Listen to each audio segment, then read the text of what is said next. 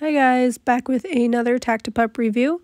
This is what we got. We got a leash and a collar combo. Um, we got the one and a half inch extreme collar for Cricket, our Australian Shepherd.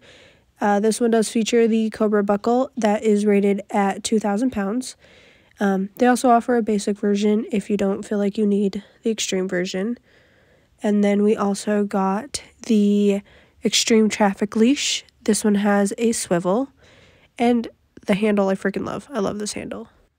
I uh, tend to always, no matter what leash I have, I always hold it closer to where this handle sits. So it just makes it a lot easier for me to hold the dogs if I need to hold them closer to me, which typically I do anyways, just to be safe. Uh, the swivel is amazing. It helps from getting tangled and it is made with um, high-end alloy. So is not going to be snapping anytime soon.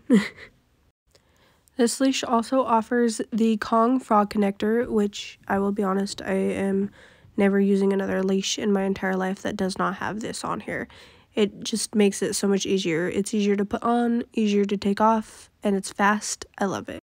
This leash also comes in two different lengths. You can get the 4 or the 6 foot. The one that I got was the 4 foot. And that's it for this video. I really hope you guys enjoyed it or found it helpful. And if you'd like to purchase your own, I will have my code in the description below.